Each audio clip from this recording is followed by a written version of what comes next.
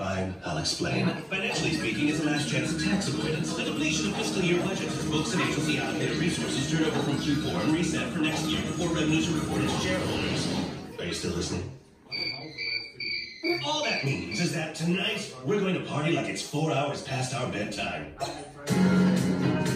All over the world, parents use the night to spend all their extra baby love. They let kids stay